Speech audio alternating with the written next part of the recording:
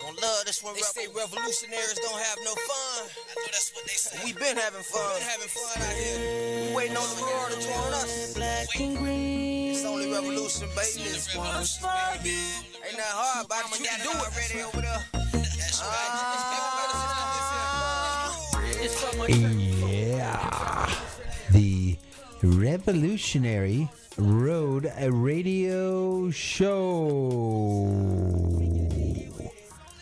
I don't know why people do that on the radio. Is there something about extending your voice for a uh, extended well, period of time? It seems to be working for you, honey. Just keep going. I don't know. Yeah, yeah, yeah. So we're coming to you live at beautiful downtown Clearwater and the studios of WTAN Tan Talk 1340 AM. I am your host, uh, the Rev, also known as Bruce, with my lovely co-host. Uh, I'm biased, but anyway, my lovely co-host, my wife Barb, and of course Pete is at the helm, and we're also expecting Connie to call in.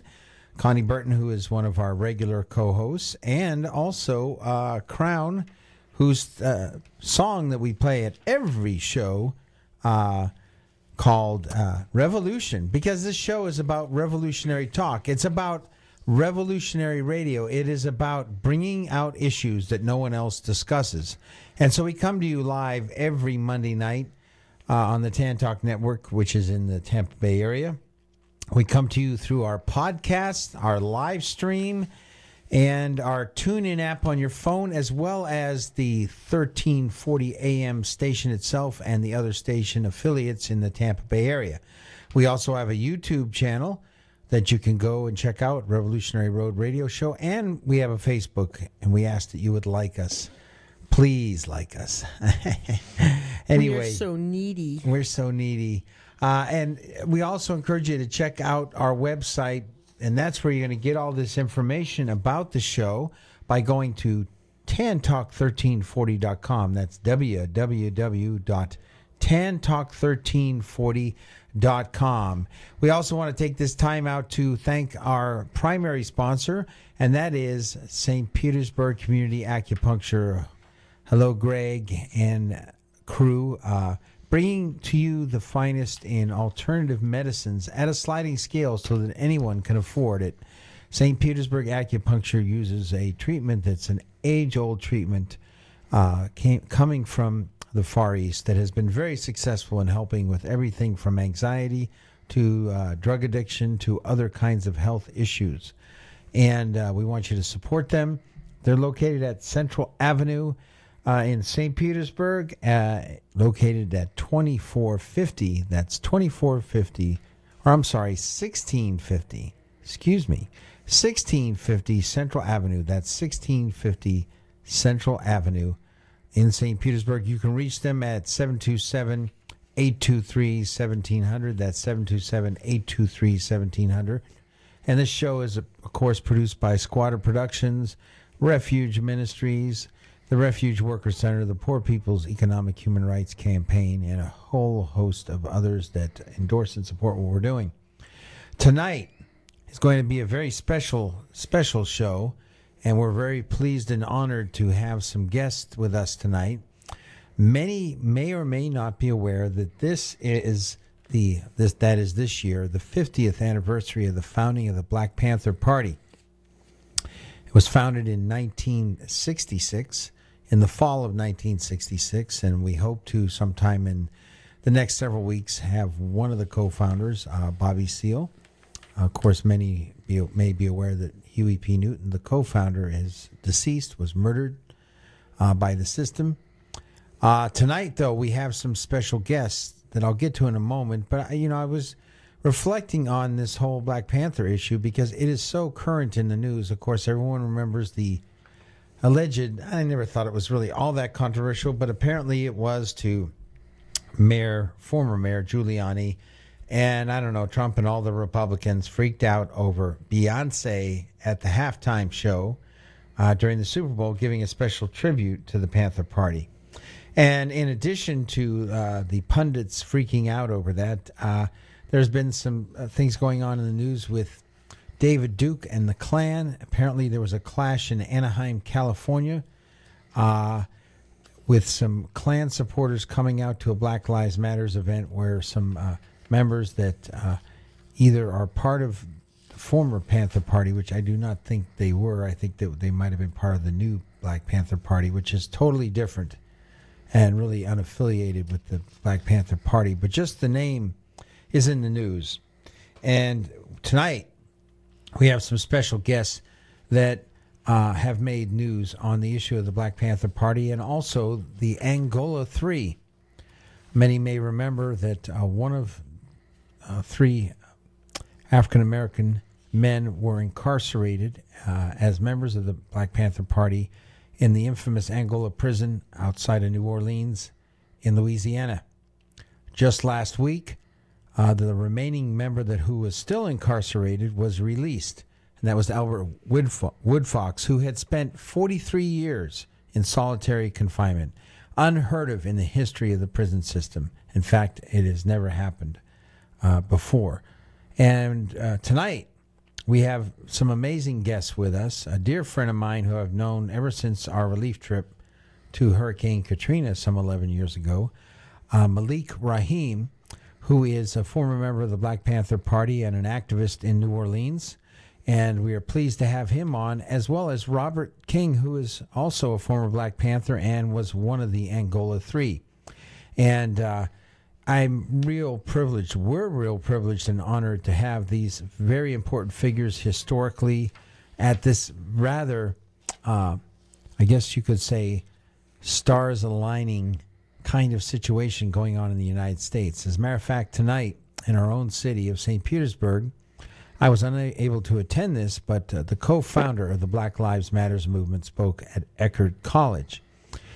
Uh, but these two gentlemen that I have introduced are no stranger to both controversy and speaking out and speaking truth to power. And uh, they've both paid dearly uh, with all kinds of repercussions for standing with the Black Panther Party and being part of it, and especially uh, Robert King. Uh, and uh, their third member, which I will let uh, Robert and Malik talk about more, who passed away and then of course uh, Albert Woodfox, who just got out last week and has been interviewed at a number of places. Uh, I do remember when Mr. King got out, he was also interviewed at length. And uh, Malik, of course, has been on our show before. And I'm just real privileged and honored. I, my engineer tells me that you're both on the line. I don't know if Connie's called in yet, uh, not yet, but I expect her to call in. But uh, brother Malik, how are you? I'm fine. I'm fine, Bruce, and it's an honor uh, once again to be on your show. And of course, I know you have been involved in this uh, movement to free the Angola Three and have very personal connections. And of course, I know you and uh, Robert King know each other. And uh, uh, Robert, I'm very pleased to have you on as well. Yes, good to be here, Bruce. Thank you thank you both for being on. Um, I consider this uh, something that is historic, and as we finish out the last day of so-called Black History Month, and I say that because it's a shame that we have to categorize histories in order for it to be paid attention to, and that is things such as Black History Month, Latino History Month, Women's History Month, which in, is indicative of the fact that white supremacy and white privilege still reigns because you have to create months for recognition. And you have to have things like a performance by Beyonce that was intended really to be a uh, tribute to the Panthers to bring attention not only to the current events that we struggle with around uh, the numerous acts of police brutality that have killed numerous African young men and women, as well as children. Let's not forget people like Tamir Rice. Um, but this is nothing new. And of course, if you know anything about the Black Panther Party, as well as our guests uh, and the Angola 3, you'll know that this is nothing new. So I, I guess by way of introduction, uh, and this is for either you, Malik, or Robert, um, please uh, tell us a little bit about your involvement in the Black Panther Party, and whoever wants to go first. Well, uh, King, you want to go first? No, Malik, go ahead. I'll follow you. Uh, you were in the first you know, brother. Your privilege. My involvement in the party started in uh, really in 1968. Mm. Uh, that's when I was first introduced to the Black Panther Party. I was a Vietnam veteran, and uh, I was I was just uh, mesmerized by uh, young black African American men that said that that they have had enough. Uh, it was right after Dr. King was killed. Uh, and we came to the realization that that, that nonviolence uh, wasn't going to work. That we have to uh, not say be violent, but we have to be uh, on the defensive. We have to be able to defend ourselves. Uh, being blessed coming from uh, Louisiana, I knew the history of the deacons for self-defense. So when uh, the Black Panther Party for self-defense started, you know, just I just spiritually uh, gravitated to it, and it was one of the best things that ever happened to me because uh, when you talk about Beyonce and how the law enforcement uh, industry in this country have came out against her because she uh, uh, did somewhat of a demonstration uh, showing support for our history. I, I couldn't really say because I never saw it. But as a person who lived on the Gulf Coast, I can clearly say that, uh, and as being a co-founder of an organization that served over half a million people in the aftermath of Katrina, that it wouldn't have been a common ground if it wouldn't have been a A3 support committee, and it wouldn't have been an A3 support committee if it wouldn't have been the Black Panther Party. So what I'm really saying, it was the teachings of the Black Panther Party, the principles, the guiding principles of the Black Panther Party that played a critical role in the recovery of the Gulf Coast and and they've never received any recognition for it. You know, it's sad that, but you know, I, I'm a very spiritual person, and I know that this is happening on our 50th anniversary.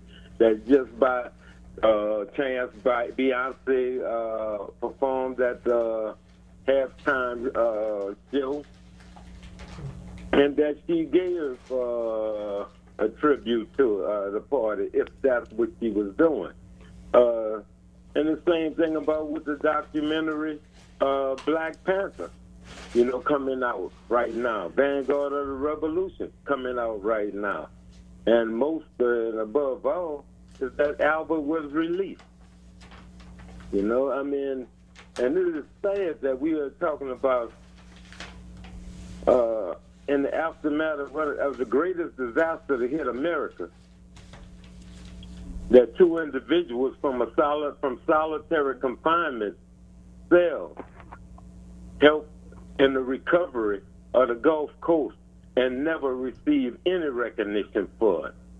You see, uh, uh, Herman, you know, was uh, you know, was bled for the rest of his life. You know, they bled him out of, out of the remaining years of his life. You know, only to let him out a couple of days before his death. That was his reward for helping save the Gulf Coast. And that, by the way, was the uh, third member of the Angola Three who unfortunately has passed on. Oh, yes, and Albert.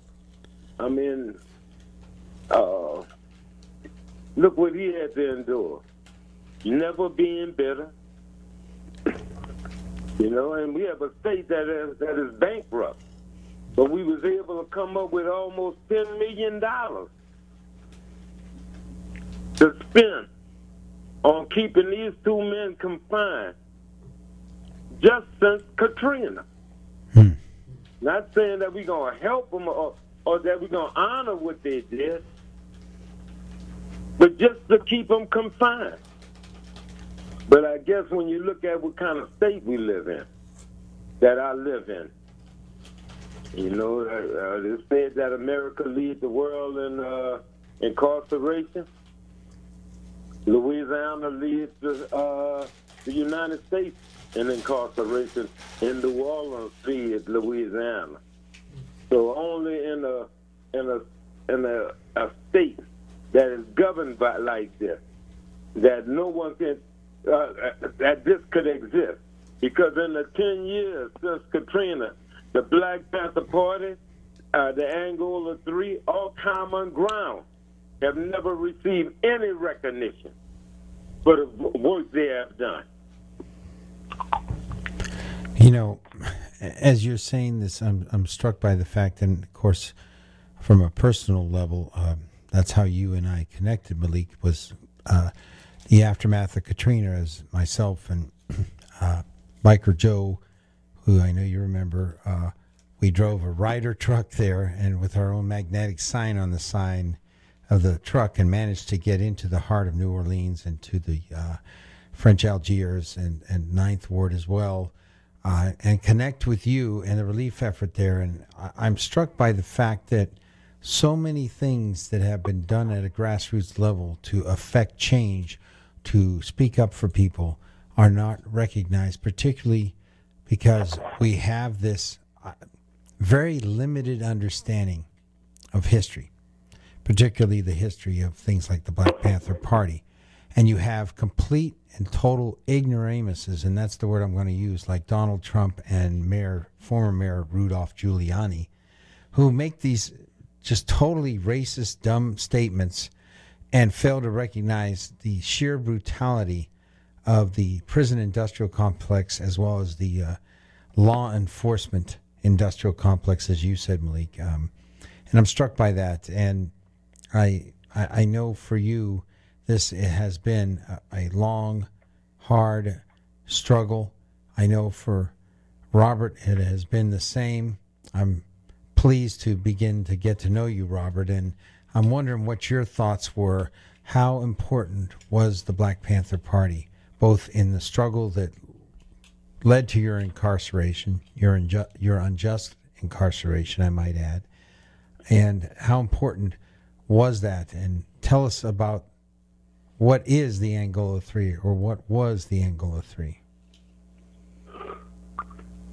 Well, uh, thank you very much, uh, uh, Bruce. And again, it's good to be here. But my uh, connection with the, with the Black Panther Party is uh, unlike Malik, Malik went. Uh, we were born in New Orleans. I mean, in New Orleans, in the South, in the same place. Uh, lived in Algiers most of our our life, or most of my life, of my young life. That with Malik. Malik went to the army, and I ended up going to, and coming out of the army. Uh, he joined the Black Panther Party after leaving the army and having his experience. And uh, I guess I went to prison, and I after coming out, I joined the party. By this, by the time I had came in contact with the Black Panther Party, I had already been introduced, uh, you know, into the system and, and in, prison, and I was, I guess I was kind of, I was kind of right, and I, I must admit, so many people had said a lot of things, had defined the system, had put it in context. Uh, at the time, I could not understand it uh, at all. I could not understand the context of the system. I just thought things were naturally, you know, the way they were. And it wasn't until the Black Panther Party came on the set after going to prison and getting out and and being arrested, rearrested, and and, and sent back to prison on a parole violation because I had the audacity to be with someone who I had been to prison and it was a um, violation, you know, a violation of, of parole to be with someone who had uh, been to prison, and it was ironic because just about everybody in my neighborhood had came in contact with the system. So, uh, having this, having this, you know, uh, this record, so-called record, not associate uh, with any known uh, uh, quote criminal unquote, and and that was again, I was violated because of my association with someone who had been been to prison, and it was at this time of group that I began to look at the system, to question the system uh, as to what it was. Uh, I began to see the discrepancy. Uh, uh, I think my involvement uh, uh, started then, but it wasn't until I came in contact with the teachings of the Black Panther Party. Of course, Malcolm X had stated I learned later on Elijah Muhammad, and then I learned about all of the writers of the Renaissance writers, you know, uh, Richard Wright, W.B. Du Bois, you just name them on to infinity. I I remember coming in contact with those after I came in contact with the Black Panther Party. But it was the Black Panther Party who led me on the trek uh, because when I began to, after being uh, arrested and given a, a charge of, uh, after, you know, having gone to prison, and because I had a record, uh, wanted me to plead guilty to a charge, and I wouldn't. They wanted to give me a, a 15 years, and I refused to do so, and I elected to go to trial, and they gave me a 35-year sentence. And it was at this time that I began to look at the system exactly for what it was. And I began to equate the system with, with slavery. And uh, I saw myself as being, you know, uh, being treated. And I, then I put it on a broader scale. I saw that happen to you know, a whole nation of people, a whole race of people, namely, you know, African American in this country. And it was at uh, when the Black Panther Party said, we want freedom, power to determine our destiny that spoke directly to my to my heart. It articulated things that I couldn't articulate at the time when they said we want uh, a, a, a lane, closed house, and education, justice, and peace. You know, and that's our major political objective of United Nations supervised subject sites, you know, that would be held. And you know, in the black community in which black colonial subject would be allowed to participate, you know, for the purpose of determining our will. And that I had never heard things put this way before. Uh, I had never uh, them, you know, uh, uh, conceive them or perceive them in, in that light. And so, yeah, I, I, it was an honor for me to come in contact, and I was in prison at the time. Uh, I must admit that after feeling that I had, you know, uh, been a, you know, uh, being treated like a slave, I did the only uh, thing that a slave could do was rebel because I had no legal right to rebel because, uh, uh, you know, a slave had, had no had no legal rights. The only legal right they had was the legal right to be a, a slave, but they had a moral right to rebel, and I exercised the moral right to rebel, and I escaped out to New Orleans uh, Parish Prison, and and and and at that time, uh, things seemed to have been coming together because uh, uh, the Black Panther Party at the time had come to New Orleans, and I had no idea that they were in the city, but at the same time that I was arrested, they were there, and I came in contact with members of the Black Panther Party, and uh, and it was at that time that uh, I decided to or to join the Black Panther Party and subsequently join the struggle because the struggle goes on. And in struggling in, in, in my struggle along with, you know, after having been arrested, gone to prison, uh, coming out, uh, who had, you know, came about up the same way, my two comrades who, uh, the other two uh, um, fellows of Angola um, they uh, they came into contact the same way I did, and they became members of the Black Panther Party. And they went to Angola and they decided to implement changes because both had had previous prison records and they were placed in isolation. They were, uh, you know, stored. They were given trumped up charges and there was no evidence uh, uh, tied either one of them. Uh, none of the Angola, initial Angola folks to the crime, but nevertheless, uh, people were tied to it and people were convicted. I came into contact because I was a member of the Black Panther Party.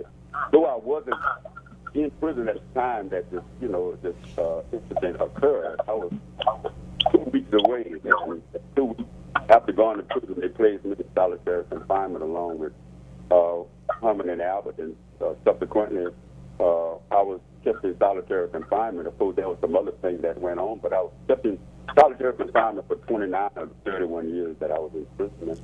And it was during that he became known as, uh, uh, along with Herman and Albert, as Angola 3. Yeah, and it still stands. It's uh, and of course Albert uh, being the longest, but all total, uh, the longest uh, group of people to be put in solitary confinement in U.S. history. Um, and we know that there are other political prisoners. Of course, many are familiar with Mumia Abu Jamal or uh, certainly Leonard Peltier with the American Indian Movement, who is a similar movement of uh, uh, indigenous rights group uh, who stood up and stood up to the system in the same kind of manner that the Black Panther Party did, as well as uh, the Young Lords, and a whole host of others. Um, you know, what was it like? Uh, and this is for either one of you, Malik or, or Robert. Um, what was it like to be part of a group that uh, essentially was on the number one list for uh, uh, the FBI and the government as a subversive organization? In fact, uh, uh, many who know the history of the Panthers as well as groups like the American Indian Movement know about COINTELPRO and what COINTELPRO did uh, and what they were. It was an arm of the government that sought to destabilize any uh, group that was about self determination and standing up for uh, the rights of the oppressed. What was it like to be part of a, a party that, you know, even today is still, as we discussed uh, earlier, still derided uh, by people like uh, Rudolph Giuliani and, and the police and, you know, the pundits that are running in the Republican Party seem to be uh, taking pot shots at the oppressed. What what was it like? And tell me, are you still feeling that same kind of pressure? Well, as for what it was like, it was the greatest experience and the most joyous experience I ever had in my life. Hmm. Uh, you know, in my experience in the Black Panther Party. It, it set the foundation for the rest of my life. Nothing that I've ever done since then, I could not fall back on the party and uh, and the party's teaching, and the party teaching me how to become an organizer. Uh, it, that has been the you know, I mean, that has been a focus of my life. You know, my, you know, when I joined the party, I didn't join the party uh, for a year. I didn't join the party for two years. I joined a movement, and that movement is for the upliftment of my people, and that's when I'm in till the day I die. You know, so uh, the, but the party is, is, you know, the teachers of the party. To be around individuals that believe that had like understanding, the individuals that have made the same commitment, seeing individuals be, uh, not only uh, incarcerated, but many killed for Mm. standing up for this belief. You know, I mean, when when we started the party in 1970, you know, I mean, uh, Fred Hampton had just got killed in December of uh, of, uh, of of of '69. You know, so it, you know it was a, a, a reality that you know that all of us know of what was happening. There was shootouts all over the country. You think there was uh, uh, many mass incarceration, but we came together because we came with a love for our people and our love that that is up to us to uh, uplift our people. That nobody else can do it but us. No one else can lead it but us. And the party stood on those principles. You know, I mean, uh, you know, I mean, uh, uh, Bruce, I cannot tell you uh, the joy it is every time I'm around my comrades. You know, I mean, when I'm in New York to sit with, with comrades. You know, uh, when I'm in California. You know, when I'm in Seattle. You know, uh, when I'm in Washington. You know, Chicago. You know, uh, Philadelphia. You know, I mean, it feels good when you can go into a city and have individuals that that will take you in and embrace you in, in pure love and brotherhood, simply because of the fact that y'all had that common bond of being members of the Black Panther Party. Oh yes, this this uh, it was the greatest experience I had in my life. You know, and uh, and you know, and one thing I've always, you know, I've always uh, you know, I've always based everything upon this teaching because I truly believe that two of the greatest uh, black men of my generation was Huey P. Newton and Bobby Seale. Wow, that's quite a tribute, and you know, I'm I'm pretty, um, I guess, overwhelmed by the significance as I've gotten to know some of the former Black Panther people, including you, Malik, uh, by how important this organization was and is in the history of struggle against oppression by the system, particularly oppression of the African American community and other oppressed communities. And so, uh, I I can only say that's that's amazing. Uh, the perspective you have, and I also, uh, of course, want to hear what uh, what Robert has to say as well. We're going to just take a brief break, and we're spending the hour tonight because we believe this is important at the Revolutionary Road Radio Show to spend the hour talking about uh, something that's we're in the midst of right now. It's a historical epoch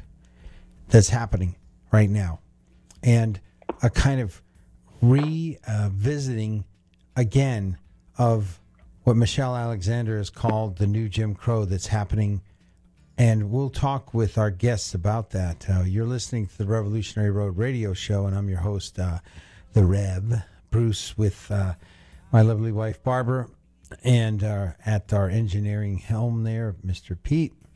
And of course, Connie Burton, who we hope will be on soon, as well as Crown, who are part of our show. And we are very pleased to have with us Malik Rahim uh, of the Black Panther Party and Robert King of the Black Panther Party, and also uh, one of the surviving members of the Angola Three. And we're going to talk a bit about Angola and the brutal prison system, one of the last vestiges of uh, slavery that continues to this day. Uh, but we want to let you know a little bit about us. The Revolutionary Road radio show, of course, comes to you every Monday night. This show is uh, underwritten in part by St. Petersburg Community Acupuncture, off- offering sliding scale appointments in alternative medicines. They are located at 1624 Central Avenue in St. Petersburg. Call 727 823 1700. That's 727 823 1700 if you want to uh, take advantage of this wonderful uh, community local business that supports revolutionary causes, by the way, not just our show, but uh, revolutionary medicine, which is something that they consider part of their inspiration was the Black Panther Party and its commitment to health, to uh, breakfast programs, to health clinics. These are things that people don't know about, and, and alternative medicines that not, not a lot of people know about that the Black Panther Party was involved in. Uh, this show is produced by Squatter Productions, The Refuge, Poor People's Economic Human Rights Campaign, the Refuge Worker Center, and we also thank the following organizations for endorsing us. Students for a Democratic Society at University of South Florida, St. Pete, SDS, as they're called, is a historic organization as well.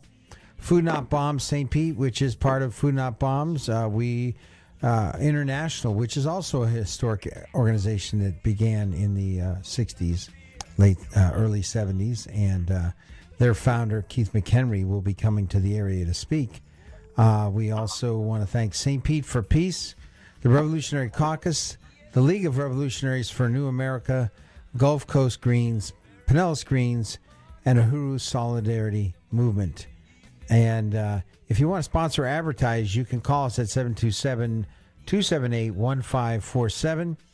Uh, we are looking for sponsors and advertisers to support and endorse this show. This show can be heard and seen on live stream as we are live right now on the internet. You can also check out our, our podcasts by subscribing and uh, to our website uh, and get the show via download uh, app on your phone, the TuneIn app. You can go to tantalk1340.com. That's tan, T A N, talk, T A L K 1340.com. We also have a YouTube channel by the same name, name and you can like us all uh, on Facebook as well. Want to let you know about a couple things coming to the area. March 2nd, that's in a couple days at St. Pete for Peace. They continue their film series. Uh, this uh, film, uh, latest documentary film, is called Turkey and Saudi Arabia Two Causes of the War in Syria. As many know, that conflict continues and is spilling over into Libya. And uh, this show, or this film, is a very important film at Community Cafe, Wednesday at 7 p.m.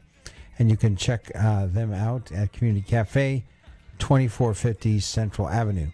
Also, this uh, Thursday, is the Fight for 15 community meeting in St. Petersburg at Childs Park Neighborhood Association Thursday night at 6:30 p.m.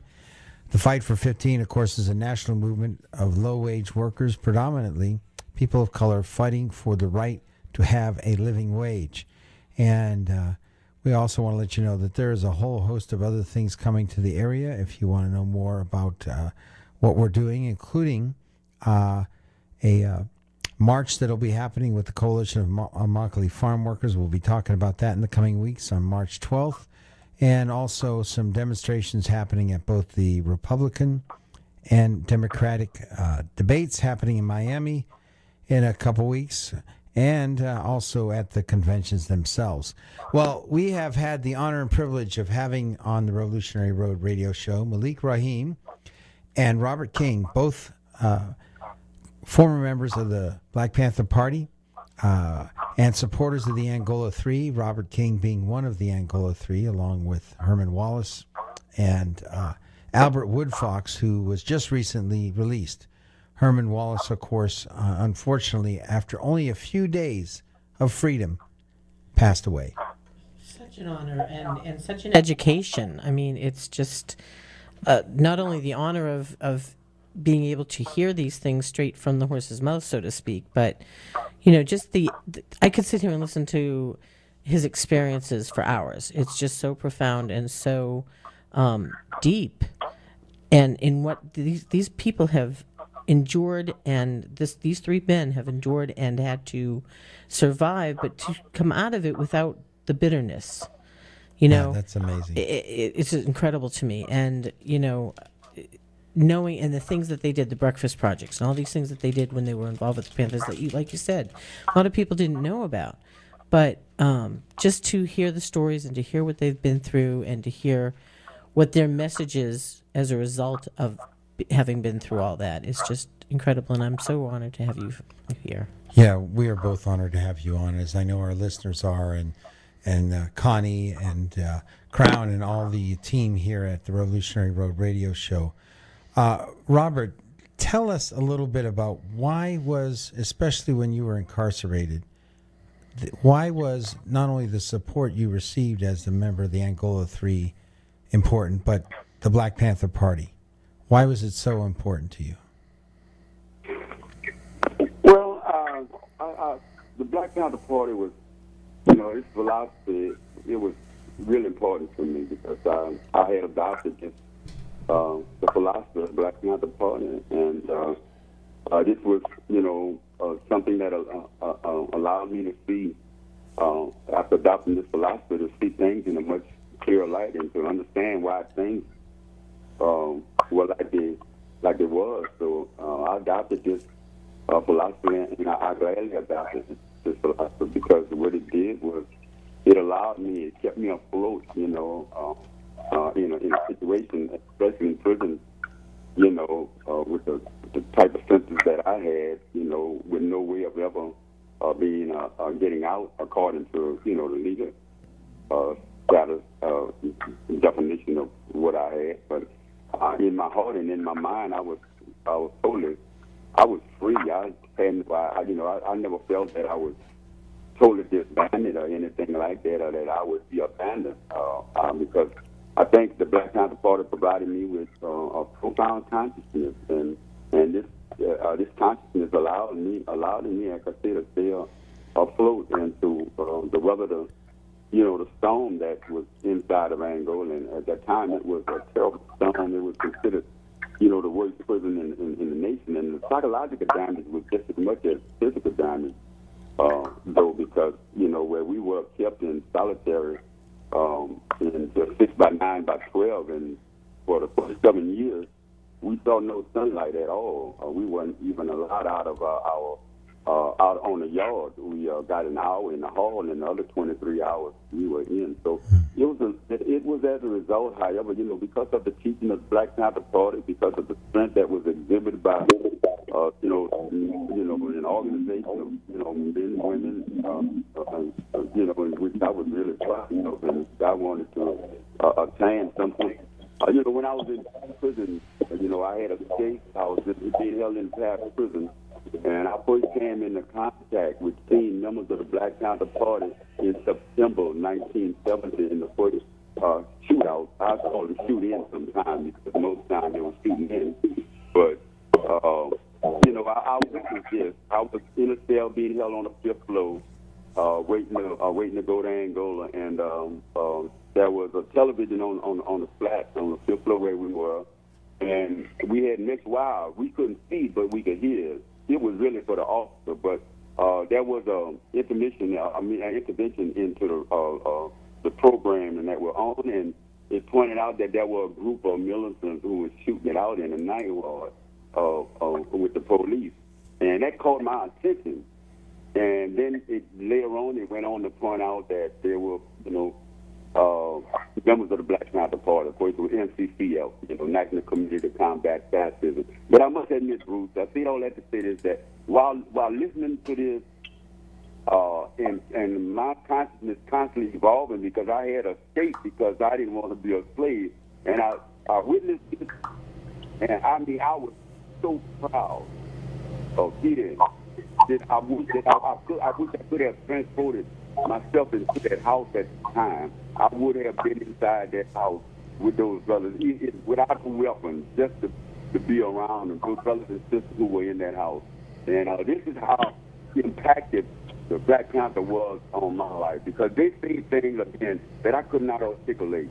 I, I you know, I, I felt that they were for the people. They were the, the, the boys for the people and the vanguard for the people. That's the way I accepted it. You know, vanguard movements throughout the history of uh, people's movements uh, rising up against oppression have been very important because they've been at the forefront of struggle. And I know both of you have, as well as your colleagues, both uh, in New Orleans and with the Angola Three, but also around the country. Um, and I mean, there's just so much to ask here. I mean, I I really think, and I know they've done documentaries before about the Panthers. There's a new one out on PBS, and I know they've done some documentaries about the Angola Three, but it just seems like the the subject is exhaustive. I mean, I mean, there's so much to talk about. Let's talk a minute about Angola. You know, this is also somewhat personal. I I have a young man that myself and a dear friend of mine, Dennis Siegel, with the Coalition for the Reform of Youth Services, is working with now. That's in Angola, and is facing. Uh, last time I checked, I think it's 20 years, um, and it's trumped up. Um, and uh, you know, we of course had grave concerns when we heard he was going to Angola. And I do realize there's different wards on the prison, but its reputation, of course, precedes itself, as you have pointed out all too well, both of you. Uh, what was it like, Robert, to be in a small, I mean, it's smaller than our little studio that we're in right now. It's about half the size nearly 24 hours a day. What, how did you, you mentioned that it was because of the support of, of the Panthers and others that you were able to make it through this. But what was it like? How did it feel? Uh, well, it was still mothering, but um, exhausting. But, you know, um, it's almost as if, you know, I had maybe kind of accepted the fact of, you know, mind over matter uh, and I, I say that because I had a I had developed, you know, and and you know, ideology. You know, I was in prison, and I vowed because of my political consciousness. I said, you know what? I said I'm in prison, and I said, but prison would never get in me. And I, I made mm. that vow, and I think I was I could only keep that vow to not let prison uh, get in me uh, because of my conviction and because of the philosophy that I had uh, embraced myself with, which was the Black Panther Party, uh, Party's philosophy of struggle. And uh, I think it was uh, that mindset that, uh, that that you know that I was in prison, but I would not allow prison to, to get in there. Uh, I think that was the thing that kind of uh, gave me the borders, you know, that I needed. You know, over the years, I've had people asking, you know, uh, why aren't you crazy? you know, they, I, I, you know, they go around acting, you know, they acting in a soul way. And I, I kind of laugh and I kind of, you know, look at him, Bruce, and I kind of, you know, and I, I let him know straight up. Wait a minute, I did not tell you I wasn't crazy. You know, I, in other words, my point is this: that you don't get dipped in waste and not come up smelling. Yeah. I don't. I, I don't tell them I'm psychotic or I'm insane or not, but I'm I'm crazy enough to want to do something and angry enough to want to do something about the situation that that had engulfed me and shouted me for so long, and you know, and had tried its best to dehumanize me. And the uh, impact of it, I saw how it dehumanized so many other people. You know, these are the hmm. things that kept me afloat because I wanted to really undermine this in any way I could, and I I couldn't do much from a prison cell, but uh, my thoughts, my rumination, and the action that we took uh, kind of impacted a little of stuff that was going on in Angola. Wow. What are your thoughts, Malik, as you're hearing your good friend here, Robert, speak? And of course, you've been involved with this all along. And I do want to get to in a minute uh, what uh, how Albert's doing. Uh, and I know he's been inundated with interviews, especially, unfortunately, the, the record he has of having been in solitary for 43 years. Uh, I mean, I can't imagine what 29 years was like, which you were sharing. Um, but before we get to maybe just letting us know what's going on with Albert, uh, Malik, what are your thoughts when you hear this? Uh, and you know, you guys lived this uh, this struggle. Uh, what are your thoughts? Well, to see uh, it, it shows uh, human endurance. You know, uh, you know, for for all these years, for 45 years, the state of Louisiana had uh, had uh, an unwritten policy to crush what they call Black Pantherism. You know, and and that Black Pantherism that they was trying to crush was a racist organization that was bent on uh, killing all white people. You know, I mean, and they uh, projected this all the way till the end. In fact, they still are, as you probably heard, comparing. Uh, not to interrupt, but they've compared the Panthers recently to the Klan, which is unbelievable.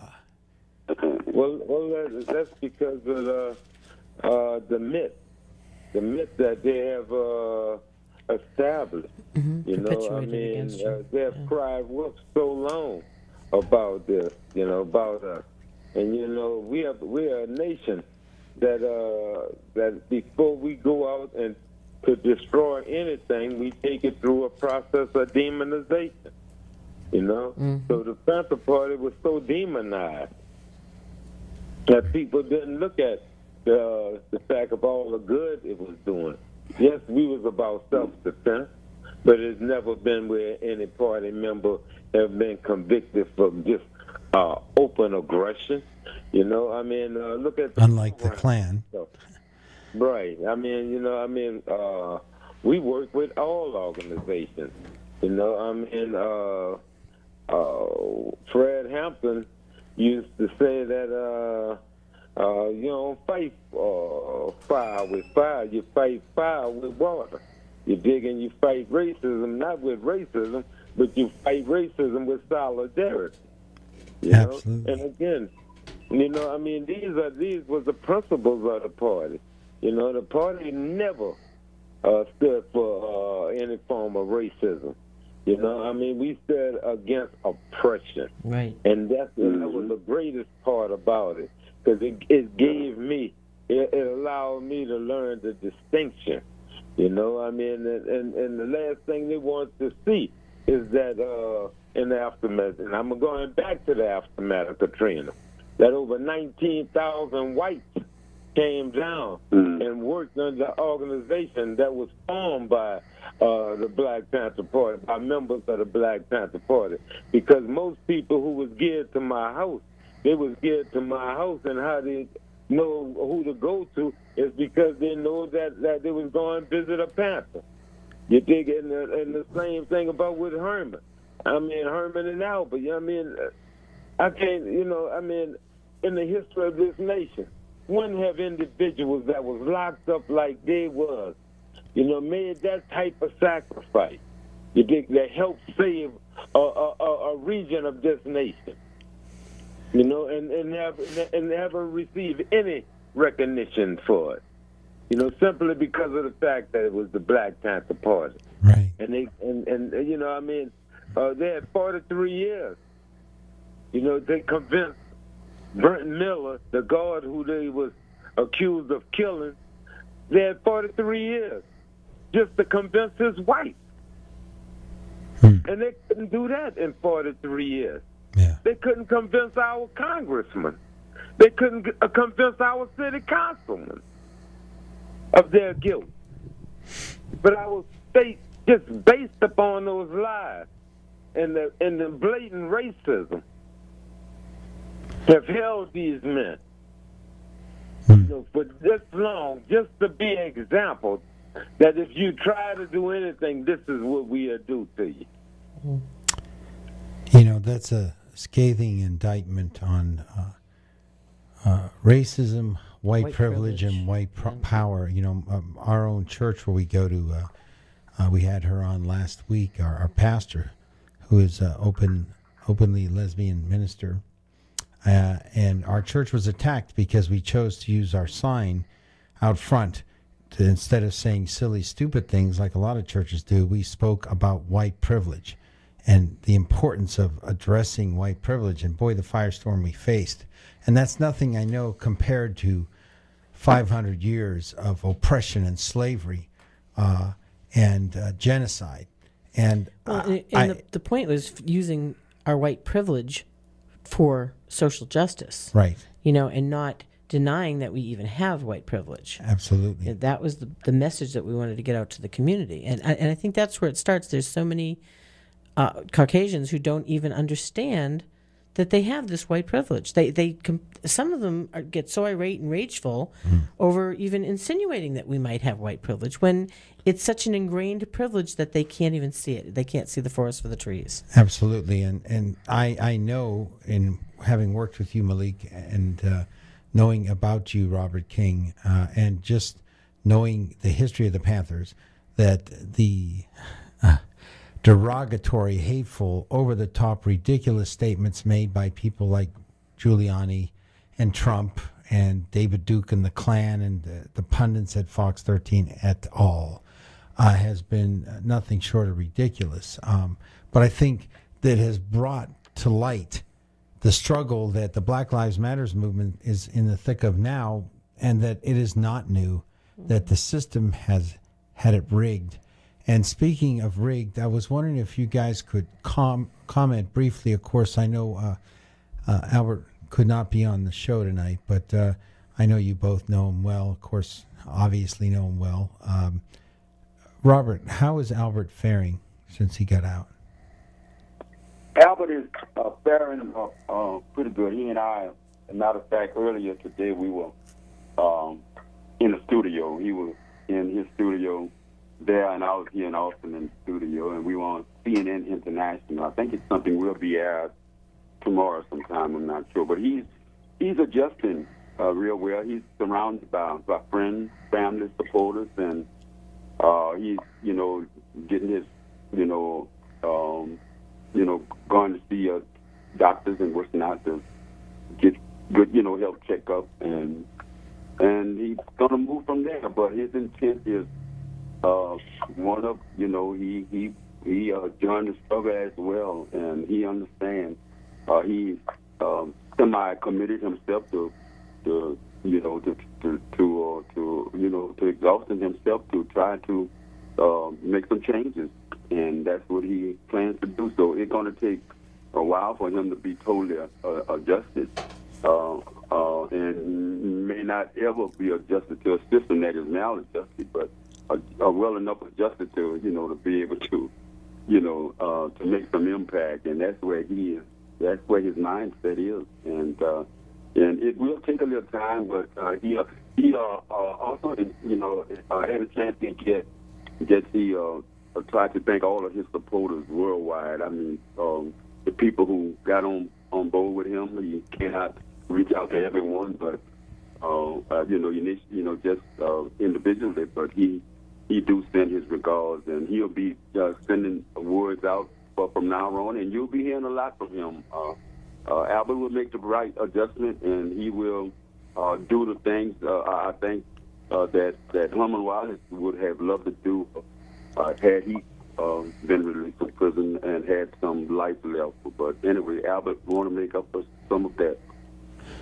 Well, I know that the attention given to the Panthers and the Angola Three, and not just the recent attention with the uh, Beyonce thing and the interviews with Albert as he got out, but you know everybody from uh, Spike Lee to Desmond Tutu to the Pope to uh, you know a whole host of uh, musicians and artists have given attention to this. Uh, that uh, unfortunately, even with all the media attention, uh, the powers that be have never fully acknowledged the injustice of the uh, persecution of the Panthers, the injustice of what happened to you guys as the Angola Three. Um, I want to kind of take you the, in the closing minutes of our show, give you both an opportunity to make a quick comment, but I, I do want uh, maybe if you would to comment briefly about the intersectionality of what you guys have been involved in for many years and the current Black Lives Matters movement. So maybe you both could give some closing thoughts about that. Well, um, go ahead, Malik. No, go ahead, Ken. Uh, well, yeah, uh, there is uh, there is a definitely a, a, connection between the you know where we are now and Black Lives Matter. I mean, we've been saying in so many words that you know, uh, uh, maybe not in, in in in that those you know that sound Black Lives Matter, but uh, you know in our lives, in our actions, in the things that we've been doing to, to make sure that you know, look, our lives matter too.